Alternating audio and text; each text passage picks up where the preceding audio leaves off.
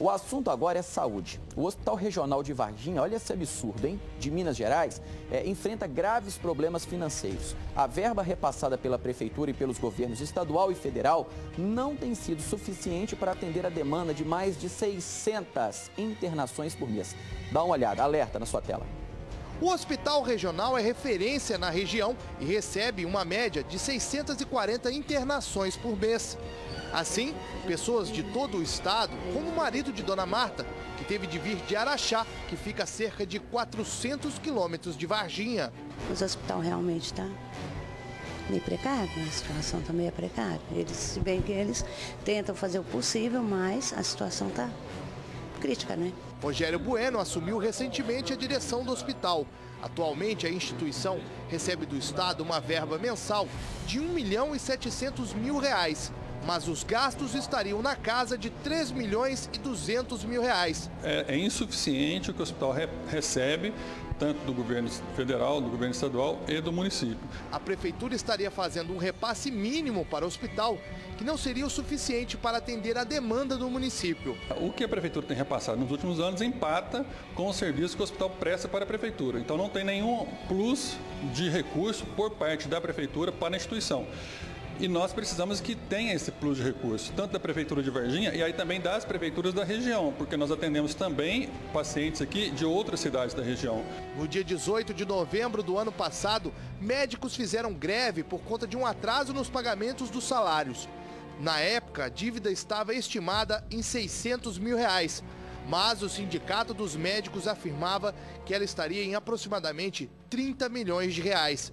A paralisação durou cinco dias Rogério ainda explica que sem o aumento do repasse da prefeitura, fica difícil atender a demanda de pacientes do município que são encaminhados da UPA.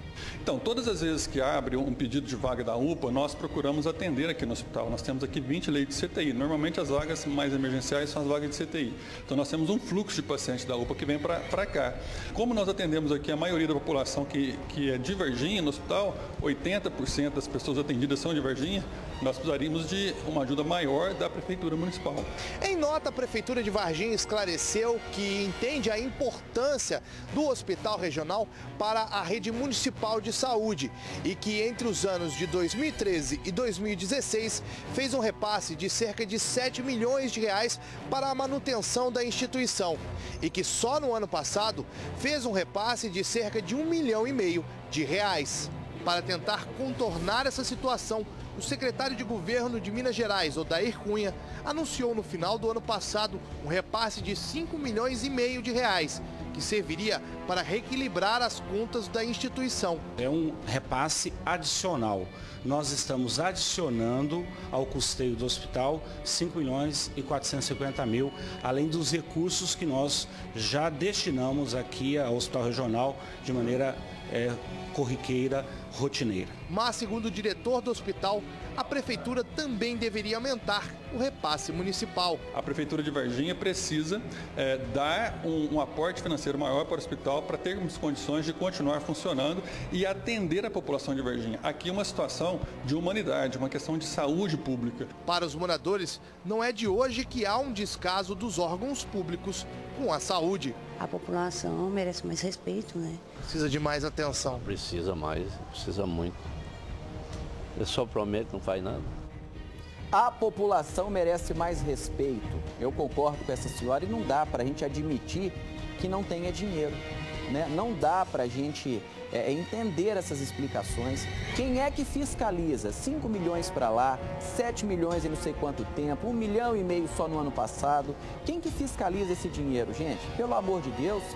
Né? Será que nós não temos aí um Ministério Público forte para poder fiscalizar isso?